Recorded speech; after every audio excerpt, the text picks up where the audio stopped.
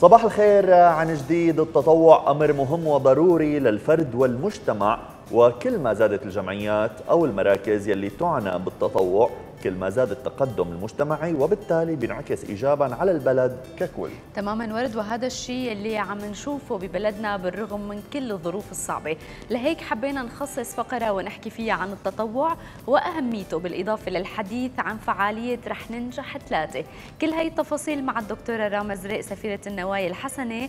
للطفولة صباح الخير دكتورة أهلا وسهلا فيكي. يسعد صباحك أهلا وسهلا فيكي معنا لليوم. صباح الخير يسعد صباحك أهلا وسهلا فيكي على طول. عم نقول تطوع على طول بنقول إنه أنت بتكسب مهارات وخبرات بالعمل التطوعي ومنأكد على أهمية التطوع كنقطة بناءة خاصة بعمر المراهق وعمر الشباب وين نحن اليوم بالتطوع بسوريا؟ كيف تقييمك وأنت لك باع طويل بهذا الموضوع؟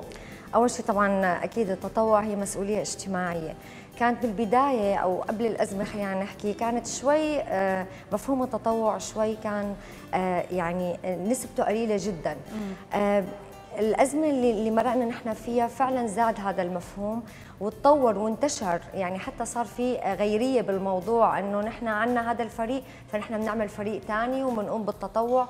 وكانت كثير فعلا لدرجة كثير كبيرة أنه أنا صاروا آه، يبعثوا لي مثلا على الانستغرام يبعثوا لي على ال social media الفيسبوك إنه نحن دكتوره بدنا نتطوع بدنا نكون معاكم. هذا التشجيع كثير زاد نحن هلأ بالآونة الأخيرة. لأنه لأنه في شيء نتيجة على الأرض. يعني هذا الشعور اللي بيعطيك التنظيم آه، التعليم الإدارة والمهارات الإدارية كلها بتصير عن طريق التطوع. فهي فعلا زادت. فعلا أنا في أشخاص بيسافروا بيتركوا الفرق التطوعية بيرجع غيرهم بيكملوا بيصير بأعداد كبيرة. هذا المفهوم كثير رائع. عم نحاول حتى ننشره بكل المحافظات. صحيح. أكيد في أماكن لسه مفهوم التطوع شوي وعانيت منه هلأ بتوزيعي للحقائب المدرسية والقرطاسية إنه في مدارس ما لهم عرفانين شو يعني تطوع أو شو يعني هذا الفريق اللي جاي بده يوزع وهو من دون أي مقابل. تمام. فهذا المفهوم أنت وقت بتوزعه أو بتنشره بطريقة صح أكيد حتكون النتيجة وشوي شوي أكيد بنقدر نوصل أكيد. لكل المحافظات ويعني يكون هذا الفكر أكيد. موجود عند كل الأشخاص. قديش حلو إنه نحن آه، نقوم بهذا العمل؟ قديش هيك في انعكاسات إيجابية بتكون على الشخص نفسه اللي عم يقوم بالعمل التطوعي؟ بالإضافة لفكرة دائما نحكي عنها أنا ورد يعني الأشخاص اللي بيقولوا لنا إنه أنا تخرجت من الجامعة أنا ما عم لاقي فرصة عمل لأنه أنا ما عندي experience طيب إذا كنت بوحدة من الجمعيات بشكل تطوعي على الأرض. فرح يصير في عندك شيء على CV تك ويعني هيك تكون عم بتشوف كيف على الأرض بتكون ممارسة العمل والمهنية كيف ممكن تكون. خلينا نحكي بما إنه ذكرتي الحقائب المدرسية والتبرع بهي التفاصيل للأطفال عن رح ننجح ثلاثة. هي ثالث سنة هي ثالث سنة للفعالية. هي ثالث سنة. أنا ما بعتبرها مبادرة. يعني هي ما لا ابدا مبادرة لأنه هي خطة أنا عم أقوم فيها كل سنة بمنطقة معينة وبمحافظات معينة. تمام. لحتى أقدر أغطي العدد الأكبر من المحافظات. يعني طبعا كونه ظروفنا شوي صعبة الأسعار صارت كثير غالية على الناس. ظروفهم صعبه فأنا حبيت إني أنا أكون واقفة معهم بهذا الموضوع. فنحن اليوم وزعت أنا طبعا هلأ بمحافظتين آه بحما مصياف منطقة مصياف كانت كثير بحاجة. آه مدارسها غطيت كل المدارس تقريبا حلو كثير بحقائب وقرطاسية. وهلأ بلشت بريف دمشق. خلينا نقول مو ريف دمشق هي دمشق القديمة.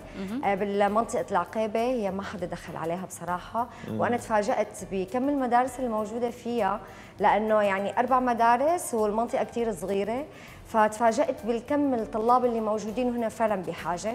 فكان من يومين نهيت موضوع منطقة العقيبة ووزعت فيها. يعطيكم ألف عافية. الله يعافيك. طبعا يعني آه، أربع مدارس يعني في فوق ال1000 طالب. أكثر. فوق ال 1500 خلينا أكتر. نقول حقائب مدرسية. واليوم من بنعرف إنه حقيبة مدرسية لطفل بالمرحلة الابتدائية. هي ودفاتره وأقلامه وقرطاسيته يمكن مكلفة, مكلفة. جدا إيه مكلفة. بالنسبة للأهالي. فما بالك الأهل اللي عندهم ثلاث أو أربع أطفال صحيح. بالمدارس. شو عم تواجهوا صعوبات؟ يعني عم تنزلوا بمحافظات وثقافات مختلفة. وكمان تعاملكم لازم يكون منظم ومقنن من وزارة الشؤون الاجتماعية. في شيء صعوبات معينة عم تعترضكم هلا آه، بصراحة الصعوبات هلا من ناحية طبعا مؤسسات الدولة لا لأنه في تشجيع كامل لهم طبعا وزارة التربية مشكورة ووزارة الشؤون الاجتماعية والعمل وبخص فعلا الدكتور دارن طباع آه وزير التربية كان كثير مشكور وكثير كان مشجع لهي الفكرة. حتى أنا في اتفاقية معه بمكتب كامل لتدريب المتطوعين. فمن ناحية مؤسسات الدولة لا في تشجيع وفي تسهيل لهي الأمور. يعني فورا في تشجيع لهم رائع حتى للمتطوعين.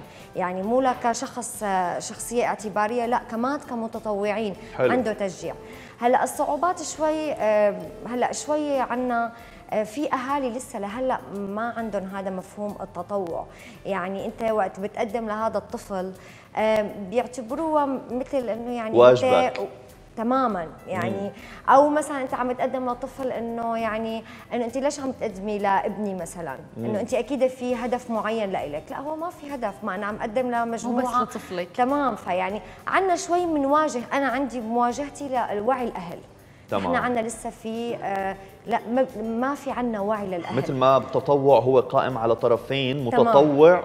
وخليني أقول ما بدي أقول آخذ لا متقبل المتقبل المتلقي لهي لا يعني عليكي فالمتلقي كمان في بروتوكول وإتيكيت معين طبعاً. لازم كمان يقول إنه لساتنا بتعاضد مجتمعي لساتني أنا طرف بهالبلد لساتني في مين عم يسأل علي فحلو إنه مثلا نعرف قيمة هذا الموضوع. عندنا هاي الفكرة إنه يعني هلأ بسبب الظروف صارت الناس دائما عندها خوف عندها زعل عندها إنه أنت عم تعمل هيك لسبب معين. صح.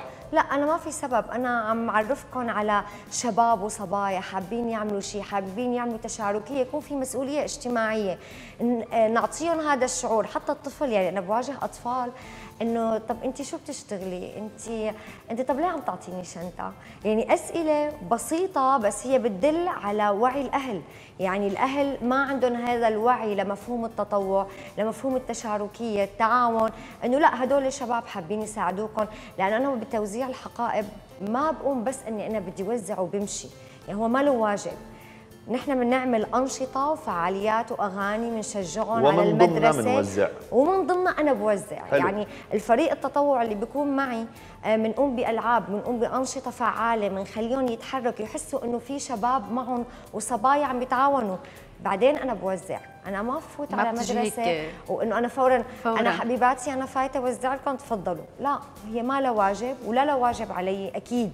ولكن هي هدف لاوصل فكرة معينة لهدول الأطفال. هلا يعني خليتيني أفكر بقصة إنه قديش مهم إنه الأهل فعليا هن يعلموا أولادهم إنه أنت ما تاخذ غرض من حدا. لأنه ممكن يكون في هدف ثاني وعم نشوف للأسف يعني صح. بمجتمعاتنا وبمجتمعات ثانية استغلال الأطفال عم بتكون عن طريق هي القصة ولكن لا نحن موجودين بمدرسة في فريق في إدارة مسؤولة موافقة على إنه هذا الفريق يدخل على المدرسة صح. ويوزع هي الهدايا للأطفال مشكورين يعطيكم ألف عافية عن جديد خلينا نحكي شوي آه، دكتورة في كمان فرق ثانية في جمعيات ثانية بسوريا عم تهتم بالأطفال؟ آه، آه، خلال هالسنتين زادت عدد المؤسسات والجمعيات اللي تعنى بالأطفال. هذا الشيء بيفرح القلب. أكيد. لأنه أول شيء نحن زادت عنا الأطفال الاحتياجات الخاصة. كان من آه، سابقا كانوا الأهالي ما يظهروا الولد اللي فيه عنده احتياجات خاصة. هذا برجع للوعي وعي الأهل. كان عندهم خوف إنه يظهر ابنهم إذا كان هو توحد أو طيف توحد أو متلازمه داون إنه طفلي ما لازم يظهر لحدا. صحيح. هلأ لا. هلا عم يتشجعوا لأنه بالجمعيات والمؤسسات عم بيصير في تدريب لهذا الطفل. عم عم نشوف قصص نجاح كثير رائعة. فدعمي أكيد ما حيكون لفريق واحد. آه، أنا لليوم بقوم بزيارات ميدانية لكل الجمعيات والمؤسسات اللي هي فعلا تعنى بأطفال احتياجات الخاصة أو الأيتام. يعني هلا أنا بعد مقابلتي معكم أنا طالعة على ست زينب لأنه في افتتاح مركز أيتام. فهذا هذا الشيء آه، قديش حلو إنه أنت تدعمي هدول الجمعيات والمؤسسات أو تعطي صورة واضحة للوزارات بمسؤولية هي الجمعية أو شو النقص اللي عندها أو شو ممكن ندعمها ماديا أو معنويا. حلو. فنحن عندنا هي الزيارات كثير مهمة لإلهم فهي زادت كثير آه، صار في تشجيع من الأهالي إنه طفلي أنا لأ بدي أحطه. تماما. كثير بتجيني مكالمات إنه دكتورة أنا طفلي هيك وين ممكن أنا آه، آه، سجله بجمعية بمؤسسة شو فيني أعمل له لحتى يتطور لح... هذا الشيء رائع هذا ما كان قبل ممتاز. تماما. هلأ بدي أختم بكلمة وبدك تعقبي لنا عليها من بعد إذنك أكيد دكتورة. اللي خلى عنا شوي شرخ بيننا وبين جمعيات أو بعض الجمعيات هو الفساد اللي كان موجود بكثير من الجمعيات صح. وحتى وزارة الشؤون الاجتماعية والعمل ألغت ترخيص أو آه، لغت آه، آه، ممارسة هي الجمعيات على أرض الواقع. المحسوبيات اللي كانت ضمن الجمعية نفسها بتوزيع السلل الغذائية بتوزيع الإغاثة والمعونة وعناصر فاسدة خليني أقول موجودة للأسف ببعض المفاصل. موجودة. طيب كيف منقيم اليوم الضبط والإشراف؟ قديش في شفافية بعمل الجمعيات؟ هلا نحن ما في عنا ضبط 100% بصراحة. آه، الجمعيات آه، قلت هلا كلمة حلوة كثير إنه آه، في عنا إدارة ممكن تكون فاسدة عناصر فاسدة. في طمع بالموضوع فهذا خلى الشرخ أو ثقة الأهل بهذا الموضوع. هلا أنا تقييمي هي بفعالية هي الجمعية أو المؤسسة. يعني أنا وقت بشوف جمعية أو مؤسسة على مدى طويل سنتين ما عملت أي فعالية ما أثبتت وجودها على الأرض فأنا بعتبرها لاغيه يعني أنا مو بس إنه أنا أعمل أحط على ال social media صور أو شيء لا.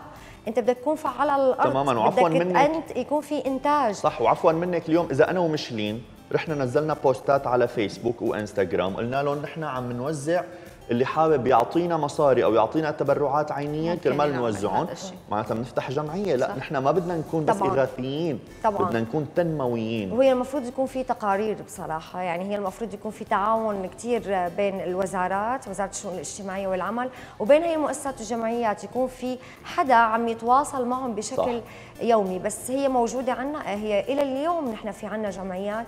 فعلا تسيء حتى المفهوم أو الهدف تبع الجمعية. تمام. لليوم عندنا بدها بدها ضبط أكثر هذا بده ضبط أكثر أكيد. يعطيكي ألف عافية الله يا دكتورة. يعطيهم العافية لكل الأشخاص يلي عم يشاركوا والمتطوعين يلي عم يشاركوا بهيك حملات يلي عم بيشوفنا وحابب إنه يتطوع معكم. شو هي الطريقة؟ أه بتمنى في تواصل على الصفحه الرسمية للفريق وتواصل كمان ممكن يكون معي شخصيا. أنا بالعكس سعيدة جدا وبقبل أي أي متطوع يجي طالما عنده النية للتقديم والعطاء. إن شاء الله. لأنه العطاء نحن اليوم بحاجته كثير أكيد. شكرا كثير لك دكتورة. أهلا وسهلا فيك. شرفتيني. يسعد صباحك واهلا وسهلا فيك. أهلا وسهلا